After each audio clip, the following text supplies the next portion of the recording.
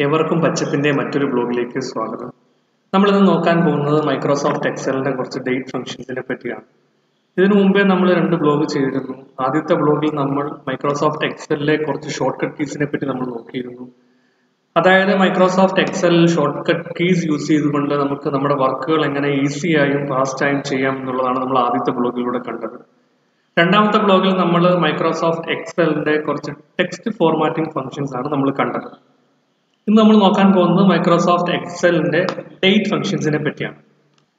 അപ്പോൾ ഈ കാണുന്ന ഈ ഫംഗ്ഷൻസിനെ പറ്റിയാണ് നമ്മൾ ഇന്ന് നോക്കാൻ പോകുന്നത്. ഞാനിപ്പോൾ ഇവിടെ ചെറുത് ഷോർട്ടായിട്ട് മെൻഷൻ ചെയ്തിട്ടുണ്ട്. അപ്പോൾ അതിന്റെ യൂസ് എന്താണെന്നും ഞാൻ ഇവിടെ റൈറ്റ് ഹാൻഡ് സൈഡിൽ മെൻഷൻ ചെയ്തിട്ടുണ്ട്. അപ്പോൾ നമുക്ക് വൺ ബൈ വൺ നമുക്ക് ചെക്ക് ചെയ്യാം. ഓരോന്നും അതെങ്ങനെയാണ് യൂസ് ചെയ്യുന്നത് എന്തിനു വേണ്ടിയിട്ടാണ് യൂസ് ചെയ്യുന്നത് അത് സിറ്റുവേഷനിലാണ് യൂസ് ചെയ്യുന്നത് എന്നുള്ളത് നമുക്ക് വൺ ബൈ വൺ നമുക്ക് ചെക്ക് ചെയ്യാം. അപ്പോൾ നമുക്ക് ആദ്യത്തേലേക്ക് കടക്കാം.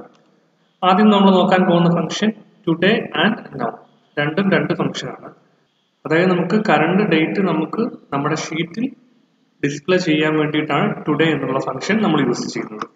അപ്പോൾ നമുക്ക് എങ്ങനെയാണെന്ന് നോക്കാം.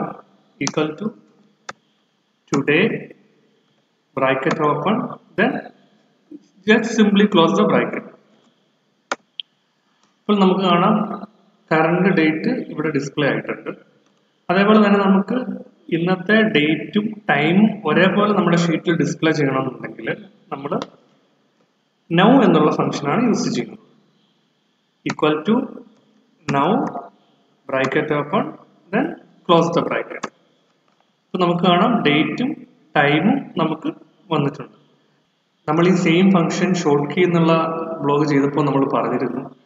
അതായത് നമുക്ക് ഡേറ്റ് ഡിസ്പ്ലേ ചെയ്യണമെന്നുണ്ടെങ്കിൽ കൺട്രോൾ സെമിക്കോളൻ അതേപോലെ ടൈം നമുക്ക് ഡിസ്പ്ലേ ചെയ്യണമെന്നുണ്ടെങ്കിൽ കൺട്രോൾ ഷീറ്റ് സെമിക്കോളൻ നമ്മൾ ടുഡേ ആൻഡ് നൗ എന്ന ഫംഗ്ഷൻ യൂസ് ചെയ്യുമ്പോൾ നമ്മുടെ സിസ്റ്റത്തിലെ ഡേറ്റും ടൈമും ആണ് നമ്മുടെ ഷീറ്റിൽ അപ്ഡേറ്റ് ആവുന്നത്. നമ്മളിപ്പോൾ അത് രണ്ട് ദിവസം അല്ലെ മൂന്ന് ദിവസം കഴിഞ്ഞ് ഓപ്പൺ ആക്കിയാലും അന്നത്തെ ഡേറ്റും ടൈമും ആയിരിക്കും അവിടെ ഡിസ്പ്ലേ ആവുന്നത്. നമുക്കിനി അടുത്ത ഫംഗ്ഷനിലേക്ക് കടക്കാം. അടുത്ത ഫംഗ്ഷൻ എന്ന് പറയുന്നത് ഡേ ആൻഡ് ഡേയ്സ് ഇത് രണ്ടും രണ്ട് ഫംഗ്ഷനാണ് രണ്ടിന്റെ യൂസ് എന്താണെന്ന് ഞാൻ പറയാം അതായത് ഡേ എന്നുള്ള ഫംഗ്ഷൻ നമ്മൾ യൂസ് ചെയ്യുന്നത് നമ്മുടെ ഡേറ്റിൽ നിന്നും ഡേ സെപ്പറേറ്റ് ചെയ്തെടുക്കാൻ വേണ്ടിയിട്ടാണ് നമ്മൾ ഡേ എന്നുള്ള ഫംഗ്ഷൻ യൂസ് ചെയ്യുന്നത്. ഇവിടെ നമുക്കിപ്പോൾ കാണാം ടു ഫൈവ് ട്വന്റി ട്വന്റി അതേപോലെ ടു ട്വൽവ് ട്വന്റി ട്വന്റി ഇതിന്റെ അകത്ത് നമുക്കിപ്പം ഡേറ്റ് ഏതാണെന്ന് നമുക്ക് കൺഫ്യൂസ്ഡ് ആവും. കാരണം ടു ഫൈവ് ഇതിൽ ഏതാണ് ഡേറ്റ് ഏതാണ് മന്ത് എന്നുള്ളത് നമുക്കൊരു കൺഫ്യൂസ്ഡ് ആവും. അപ്പോൾ നമുക്കത് സെപ്പറേറ്റ് ആക്കുന്നതിന് വേണ്ടിയിട്ടാണ് ഡേ എന്നുള്ള ഫംഗ്ഷൻ നമ്മൾ യൂസ് ചെയ്യുന്നത്. അപ്പോൾ നമുക്കത് എങ്ങനെ യൂസ് ചെയ്യുന്നതെന്ന് നോക്കാം. Equal to day then select the day close the bracket. അപ്പോൾ നമുക്ക് കാണാം ഇതിൽ ഫൈവ് എന്നുള്ളതാണ് ഡേ ആയിട്ടുള്ളത്. ഡേ അത് സെപ്പറേറ്റ് ആയിട്ട് എടുത്തിട്ടുണ്ട്. അതേപോലെ ഇതിൽ ട്വൽവ് എന്നുള്ളതാണ് ഡേ ടു എന്നുള്ളത് മന്ത് ആണ്. അപ്പോൾ ഇതാണ് ഡേ എന്നുള്ള ഫംഗ്ഷൻ നമുക്ക് ഡേയ്സ് എന്നുള്ള ഫംഗ്ഷൻ അത് എന്തിനു യൂസ് ചെയ്യുന്നു എന്ന് വെച്ചാൽ രണ്ട് ഡേറ്റുകൾ തമ്മിലുള്ള ഗ്യാപ്പ് എത്രയാണെന്ന് അറിയാൻ വേണ്ടിയിട്ടാണ് നമ്മൾ ഡേയ്സ് എന്നുള്ള ഫംഗ്ഷൻ യൂസ് ചെയ്യുന്നത്. അതപ്പോൾ നമുക്ക് കാണാം എങ്ങനെയാണ് യൂസ് ചെയ്യുന്നതെന്ന്. Equal to days bracket open then first select the end date here it is thirty first January twenty twenty then comma then select the starting date then bracket close ഇപ്പോൾ നമുക്ക് കാണാം first January twenty twenty to thirty first January twenty twenty നമുക്ക് മുപ്പത് ദിവസത്തെ gap ഉണ്ട്. ഇതേപോലെ നമുക്ക് scroll ചെയ്ത് താഴെ ഇപ്പോൾ ഇതിന്റെ അകത്തുള്ള മറ്റൊരു പ്രശ്നം ഞാൻ പറയാം. അതായത് നമ്മൾ ഈ ഫംഗ്ഷൻ യൂസ് ചെയ്യുമ്പോൾ ഈ ഫംഗ്ഷൻ ലാസ്റ്റ് ഡേറ്റ് കൗണ്ട് ചെയ്യത്തില്ല. അതായത് one two thirty first January twenty ട്വന്റിയിൽ thirty first January exclude ചെയ്തിട്ടാണ് ഈ തേർട്ടീൻ എന്നുള്ള നമ്പർ വന്നിരിക്കുന്നത്. അപ്പോൾ നമുക്ക് ലാസ്റ്റ് ഡേറ്റും കൂടെ ഇൻക്ലൂഡ് ചെയ്താണ് വരണം എന്നുണ്ടെങ്കിൽ നമ്മൾ ഫോർമുലയിൽ ചെറിയൊരു ചേഞ്ച് വരുത്തുക. അതായത് ഇതിന്റെ കൂടെ നമ്മൾ പ്ലസ് വണ്ണും കൂടെ ആഡ് ചെയ്യുക. അപ്പൊ നമുക്ക് കാണാം തേർട്ടി എന്നുള്ളത് തേർട്ടി ആയി സിക്സ്റ്റീൻ എന്നുള്ളത് സെവന്റീൻ ആയി. അപ്പോൾ നമുക്കിനി അടുത്ത ഫംഗ്ഷനിലേക്ക് നടക്കാം. അടുത്ത ഫംഗ്ഷൻ ഡേറ്റ് എന്നുള്ള ഫംഗ്ഷനാണ് ഇത് എന്തിന് യൂസ് ചെയ്യുന്നു എന്ന് വെച്ചാൽ അതായത് നമ്മുടെ ഡേറ്റിലെ നമ്മുടെ ഡേ നമ്മുടെ മന്ത് അതേപോലെ ഇയർ ഇത് സെപ്പറേറ്റ് സെപ്പറേറ്റ് സെല്ലിലാണ് ഉള്ളത് എങ്കിൽ ഇതിനെ നമുക്ക് ഒരു ഫുൾ ആയിട്ടുള്ള ഡേറ്റ് ഫോമിലേക്ക് കൺവേർട്ട് ചെയ്യാനാണ് ഡേറ്റ് എന്നുള്ള ഫംഗ്ഷൻ യൂസ് ചെയ്യുന്നത്. അപ്പോൾ നമുക്ക് എങ്ങനെയാണെന്ന് നോക്കാം. Equal to date bracket open then first select the year then comma then select the month then comma then select the day then bracket close ഇപ്പോൾ നമുക്ക് കാണാം നമ്മുടെ നമ്മൾ സെപ്പറേറ്റ് ആയിട്ട് കൊടുത്തിരുന്നത് ഒരു പൂർണ ഒരു കംപ്ലീറ്റ് ഡേറ്റ് ഫോമിലേക്ക് മാറിയിട്ടുണ്ട്. നമുക്ക് അതേപോലെ തന്നെ ഇവിടെ ഒന്ന് ജസ്റ്റ് ട്രൈ ചെയ്ത് നോക്കാം. Equal to date bracket open select the year comma select the month select the day bracket close അപ്പോൾ അതും പൂർണ രൂപത്തിൽ വന്നിട്ടുണ്ട്. അപ്പോൾ ഇത് മനസ്സിലായെന്ന് വിചാരിക്കുന്നു. അപ്പോൾ നമുക്ക് അടുത്ത ഫംഗ്ഷനിലേക്ക് കടക്കാം. അടുത്ത ഫംഗ്ഷൻ ഈ ഡേറ്റ് എന്നുള്ള ഫംഗ്ഷനാണ് അപ്പോൾ ഞാൻ ഇത് എന്തിനു വേണ്ടി യൂസ് ചെയ്യുന്നു എന്നുള്ളത് പറയാം.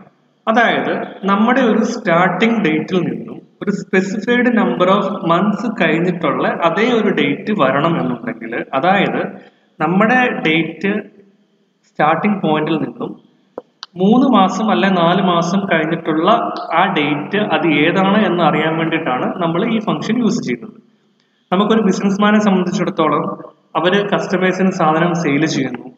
ആ സെയിൽ ചെയ്യുന്ന സാധനം നമ്മൾ ക്രെഡിറ്റിലാണ് സെയിൽ ചെയ്യുന്നതെന്നുണ്ടെങ്കിൽ നമുക്ക് അവർക്ക് ഒരു ക്രെഡിറ്റ് പീരീഡ് നമ്മൾ കൊടുക്കാറുണ്ട്. അപ്പൊ ആ ക്രെഡിറ്റ് പീരീഡിന്റെ ലാസ്റ്റ് ഡേറ്റ് അല്ലെ ഡ്യൂ ഡേറ്റ് അത് എന്നാന്ന് അറിയാൻ നമുക്ക് ഈ ഫംഗ്ഷൻ വേണം യൂസ് ചെയ്യാം. അപ്പോൾ ഞാൻ ഇത് എങ്ങനെ യൂസ് ചെയ്യുന്നു എന്നുള്ളത് ഞാൻ കാണിച്ചു തരാം. അപ്പം അതിനായി equal to E date bracket open then start date here it is January fourteen twenty twenty then comma then അടുത്ത് നമ്മൾ സെലക്ട് ചെയ്യേണ്ടത് എത്ര മാസമാണ് നമ്മുടെ ക്രെഡിറ്റ് പീരീഡ് എത്ര മാസത്തിന് ശേഷമാണ് നമുക്ക് പേയ്മെന്റ് റിസീവ് ചെയ്യേണ്ടത്? അല്ലെങ്കിൽ നമ്മൾ കസ്റ്റമർക്ക് കൊടുക്കുന്ന ക്രെഡിറ്റ് പീരീഡിന്റെ ലാസ്റ്റ് ഡേറ്റ് അത് ഏതാണ്? നമ്മൾക്ക് ഇവിടെ കസ്റ്റമേഴ്സിന് കൊടുക്കുന്നത് ത്രീ മന്ത്സ് ആണ്. അപ്പോൾ നമ്മൾ ത്രീ സെലക്ട് ചെയ്യുക ആ സെല്ല് സെലക്ട് ചെയ്യുക ദെൻ ബ്രാക്കറ്റ് ക്ലോസ് ചെയ്യുക. അപ്പോൾ നമുക്ക് കാണാം ജാനുവരി ഫോർട്ടീൻ ട്വന്റി ട്വന്റിയിൽ നമ്മൾ സെയിൽ ചെയ്തത്. നമുക്ക് മാക്സിമം അവർ ക്രെഡിറ്റ് കൊടുക്കാവുന്ന മൂന്ന് മാസത്തിലെ ലാസ്റ്റ് ഡേറ്റ് എന്ന് പറയുന്നത് ഏപ്രിൽ ഫോർട്ടീൻ ട്വന്റി ട്വന്റി ആണ്. ഇത് നമുക്ക് സ്ക്രോൾ ചെയ്യാം. ഇപ്പോൾ നമുക്ക് ഓരോ കസ്റ്റമേഴ്സിന്റെയും ലാസ്റ്റ് പേയ്മെന്റ് ഡേറ്റ് അത് എന്നാണെന്നുള്ളത് ഇവിടെ ഡിസ്പ്ലേ ആയിട്ടുണ്ട്. അതേപോലെ നമുക്ക് അടുത്ത ഫംഗ്ഷൻ നോക്കാം.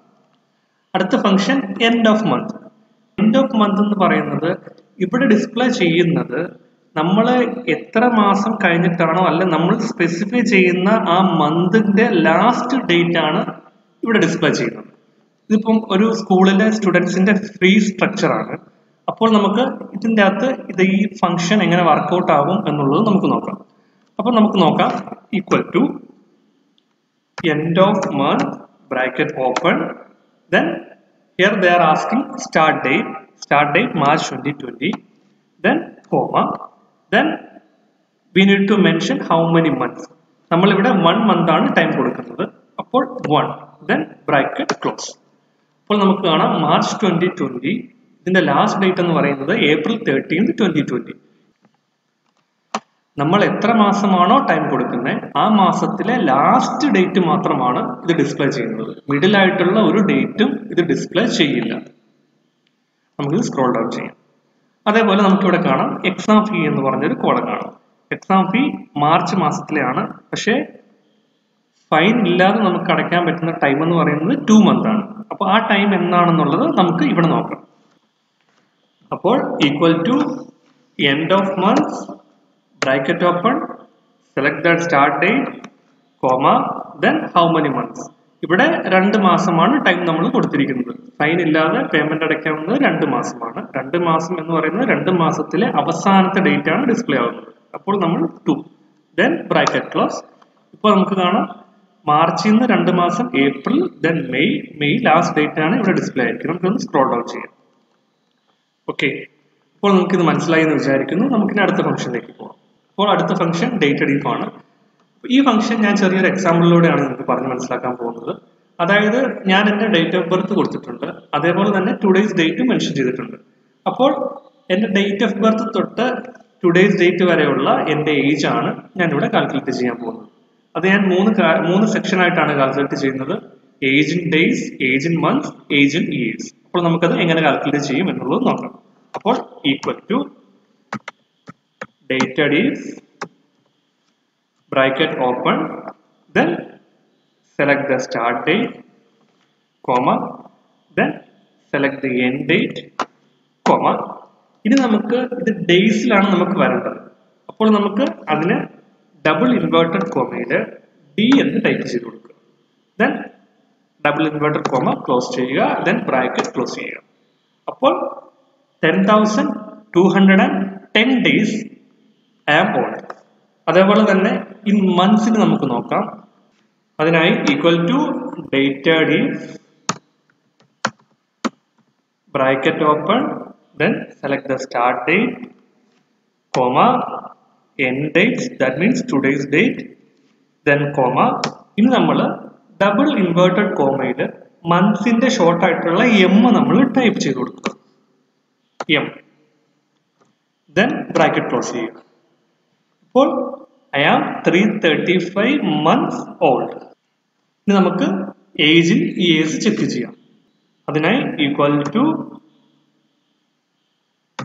dated is bracket open then select the start date comma today's date comma ഇയേഴ്സിന്റെ ഷോർട്ട് ആയ വൈ നമ്മൾ ടൈപ്പ് ചെയ്ത് കൊടുക്കുക. Double inverted comma Y then close the bracket.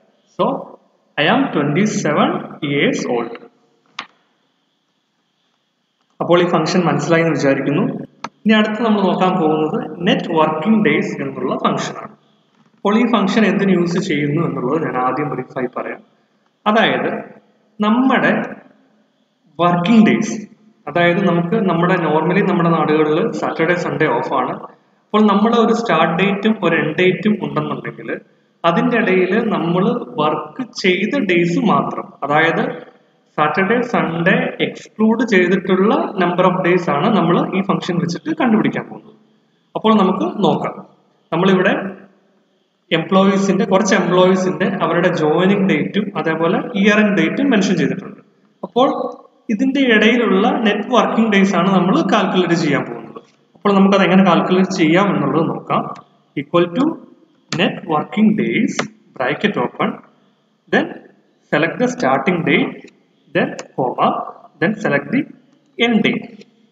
നമുക്ക് ഇവിടെ കാണാം. അതിനുശേഷം ഇവിടെ ബ്രാക്കറ്റിന്റെ ഉള്ളിൽ ഹോളിഡേയ്സ് മെൻഷൻ ചെയ്തിട്ടുണ്ട്. ഇത് നമ്മൾ ഓപ്ഷണലാണ് ഇത് നമുക്ക് വേണമെങ്കിൽ നമുക്ക് അതും കൂടെ സെലക്ട് ചെയ്യാം. ഞാനത് കാണിച്ചു തരാം. ഇപ്പോൾ നമ്മൾ അത് സെലക്ട് ചെയ്യുന്നില്ല. നമ്മളത് ഡയറക്റ്റ് ആയിട്ട് നമ്മൾ ഈ ബ്രാക്കറ്റ് ക്ലോസ് ചെയ്തു. അപ്പോൾ നമുക്ക് നോക്കാം. First January twenty twenty to December thirty first twenty twenty അതിന്റെ ഇടയിൽ net working days two sixty two എന്നുള്ളതാണ്. അതായത് സാറ്റർഡേ സൺഡേ എക്സ്ക്ലൂഡ് ചെയ്തിട്ടുള്ള ഡേറ്റ് ആണ്. അപ്പൊ ഇതിൽ തന്നെ ഞാൻ മറ്റൊരു വിധി കാണിച്ചു തരാം. ഇപ്പോൾ നമ്മൾ ഈ ഫംഗ്ഷന്റെ അകത്ത് എക്സ്ട്രാ ഹോളിഡേയ്സ് മെൻഷൻ ചെയ്തിട്ടില്ല. അപ്പോൾ നമുക്ക് സാറ്റർഡേ സൺഡേ അല്ലാത്ത ഒരു ദിവസം കൂടെ ഹോളിഡേ ആണെന്നുണ്ടെങ്കിൽ നമുക്ക് ആ ഡേറ്റ് മെൻഷൻ ചെയ്താൽ അതും കൂടെ ഇതിൽ നിന്ന് റിമൂവ് ആവും. അപ്പോൾ ഞാൻ കാണിച്ചു തരാം. അതെങ്ങനെയാ ചെയ്യുന്നത്? അപ്പോൾ ഇതിനു ശേഷം ഈ ഫോർമുലയ്ക്ക് ശേഷം അതായത് networking days bracket open start date end date then അതിനുശേഷം ഒരു കോമ ഇട്ടതിന് ശേഷം നമുക്ക് എക്സ്ക്ലൂഡ് ചെയ്യേണ്ട അതർ ഹോളിഡേയ്സും കൂടെ സെലക്ട് ചെയ്ത് കൊടുക്കുക ഇനി ബ്രാക്കറ്റ് ക്ലോസ് ചെയ്യുക. അപ്പൊ നമുക്ക് കാണാം ടു സിക്സ്റ്റി ടു എന്നുള്ളത് ടു ഫിഫ്റ്റി നയൻ ആയി. അതായത് ഇവിടെ നാലെണ്ണം ഉണ്ട് പക്ഷെ ഇതിന്റെ അകത്ത് ഏതെങ്കിലുമൊക്കെ സാറ്റർഡേ സൺഡേ ആണെന്നുണ്ടെങ്കിൽ അത് ഓൾറെഡി കൗണ്ട് ചെയ്തിട്ടുണ്ട്. അത് കൂടാതെ വരുന്ന ഏതെങ്കിലും ദിവസമാണ് ഇവിടെ ബാലൻസിന് കൗണ്ട് ചെയ്യുന്നത്. അപ്പോൾ നമുക്കത് സ്ക്രോൾ ചെയ്യാം. ഇതാ ഇത് നോർമൽ രീതിയിൽ നമ്മൾ കാൽക്കുലേറ്റ് ചെയ്യുന്നതാണ്. സാറ്റർഡേ സൺഡേ എന്നുള്ളത് ഓഫ് ആയിട്ടുള്ള രീതിയിലാണ് കാൽക്കുലേറ്റ് ചെയ്യുന്നത്. ഇനി ചില രാജ്യങ്ങളിൽ ചില കൺട്രീസിൽ സാറ്റർഡേ സൺഡേ ആയിരിക്കില്ല ഓഫ് അതിന് പകരം മറ്റേതെങ്കിലും ദിവസമായിരിക്കും ഓഫ് അപ്പോൾ അങ്ങനെയുള്ള സ്ഥലത്ത് നമ്മൾ എങ്ങനെയാണ് നെറ്റ് വർക്കിംഗ് ഡേയ്സ് കാണുന്നത് എന്നുള്ളത് നോക്കാം. അതിനായിട്ട് equal to net working days international എന്നുള്ളൊരു ഫംഗ്ഷൻ അത് ഓപ്പൺ ചെയ്യുക. അത് ഇതേപോലെ തന്നെ സ്റ്റാർട്ടിംഗ് ഡേറ്റ് മെൻഷൻ ചെയ്യുക കോമ എൻഡിങ് ഡേറ്റ് മെൻഷൻ ചെയ്യുക കോമ ഇതിന് ശേഷം നമ്മളോട് ചോദിക്കും നമുക്ക് ഏത് ഡേയ്സ് ആണ് ഓഫായിട്ട് കൺസിഡർ ചെയ്യേണ്ടത്? ഇവിടെ ഓഫ് നമ്പേഴ്സ് ഉണ്ട്. വൺ എന്നുള്ളത് സാറ്റർഡേ സൺഡേ ഓഫ് ആണ്. ടു എന്നുള്ളത് Sunday Monday three Monday Tuesday ഇങ്ങനെ താഴോട്ട് അതായത് ലെവൻ വന്നു കഴിയുമ്പോൾ Sunday only twelve Monday only okay നമുക്കിപ്പോൾ മിഡിൽ ഈസ്റ്റിലാണെങ്കിൽ ഫ്രൈഡേ ഓഫ് ആയിരിക്കും. അപ്പോൾ നമുക്ക് ഫ്രൈഡേയുടെ ഓപ്ഷൻ നമ്പർ സിക്സ്റ്റീൻ ആണ്. അപ്പോൾ നമുക്ക് ജസ്റ്റ് സിക്സ്റ്റീൻ അവിടെ മെൻഷൻ ചെയ്ത് കൊടുത്താൽ ഫ്രൈഡേ റിമൂവ് എക്സ്ക്ലൂഡ് ചെയ്തിട്ടുള്ള നെറ്റ് വർക്കിംഗ് ഡേയ്സ് നമുക്ക് ഇവിടെ കാൽക്കുലേറ്റ് ചെയ്ത് കിട്ടും. അപ്പം നമുക്ക് നോക്കാം. അപ്പം ഞാനിത് ക്ലോസ് ചെയ്യും ഇപ്പോൾ ഫ്രൈഡേ എക്സ്ക്ലൂഡ് ചെയ്തിട്ട് ത്രീ വൺ ഫോർ ഡേയ്സ് ആണ് നെറ്റ് വർക്കിംഗ് ഡേയ്സ് ആയിട്ട് നമുക്കുള്ളത്. ഇത് ജസ്റ്റ് നമുക്ക് സ്ക്രോൾ ചെയ്യാം. അപ്പോൾ ഇതാണ് നെറ്റ് വർക്കിംഗ് ഡേയ്സ് ഇന്റർനാഷണൽ അപ്പോൾ നിങ്ങൾക്ക് ഏവർക്കും എന്റെ ഇന്നത്തെ വീഡിയോ മനസ്സിലായി എന്ന് ഞാൻ വിചാരിക്കുന്നു. അപ്പോൾ ഇതേപോലെയുള്ള അടുത്തൊരു മറ്റൊരു ഫംഗ്ഷനുമായിട്ട് ഞാൻ അടുത്തൊരു ബ്ലോഗിലൂടെ വരുന്നതായിരിക്കും.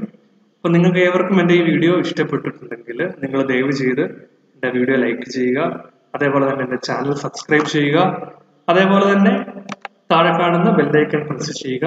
അപ്പോൾ ഞാൻ ഇങ്ങനെ ഇടുന്ന വീഡിയോസ് നിങ്ങൾക്ക് നോട്ടിഫിക്കേഷൻ ആയിട്ട് ലഭിക്കുന്നതായിരിക്കും. അപ്പോൾ ഏവർക്കും നല്ലൊരു ദിവസം നേരുന്നു.